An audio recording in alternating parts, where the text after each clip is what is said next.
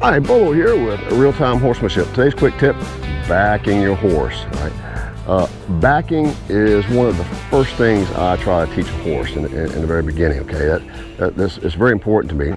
Um, uh, first of all, backing is, is not that natural for a horse to do. Uh, yes, they're obviously capable of backing, but you never see them back for very long distances, okay? Um, just to maybe back away from another horse for a couple of steps. You never see them back around the pasture. So it's, it's just, just not something they, they do naturally on their own. Um, so here's the reasons I like to, uh, to teach a horse to back, and I think it's very important. Number one, on the ground, uh, that really establishes respect, right? Uh, getting a horse to, to back away from you while keeping two eyes and, and not turning away from you and showing you the butt, uh, that establishes respect and focus as far as I'm concerned. So that, I get the respect there on the ground and it carries over in the saddle. All right. Second reason is when they back up, they're using muscles uh, that they don't normally use a lot in that backing motion back here. So it builds muscle tone back here in the butt. I like that.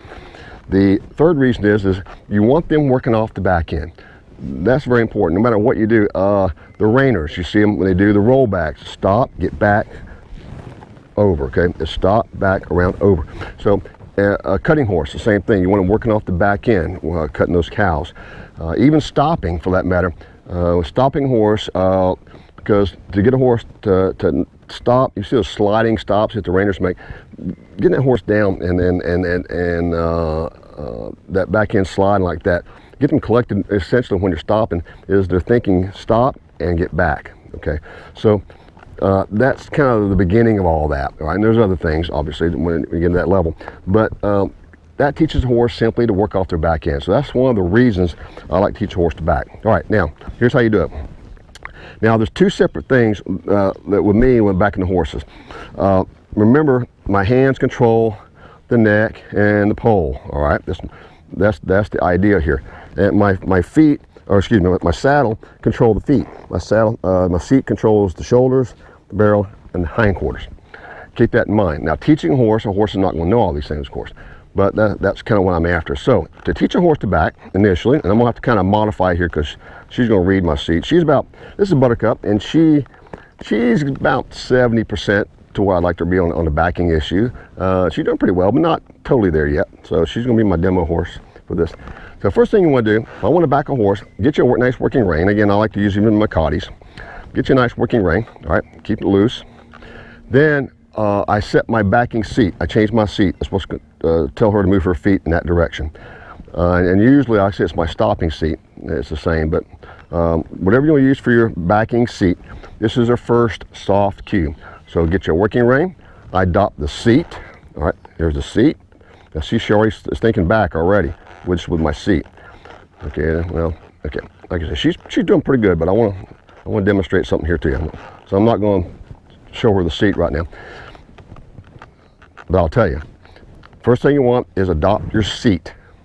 The horse is not going to know that. Now, with your fingers, slowly, really lightly, start adding pressure, very slowly, nice and even into her, into the, to the reins here, and add pressure, add pressure, add pressure, and then just hold it.